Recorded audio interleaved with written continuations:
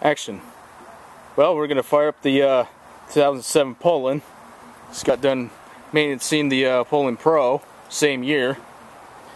I'm going to change the oil in this because it's black as tar. Probably got a little bit of gray in it. Just primed it, so here we go. See if it fires up on its own.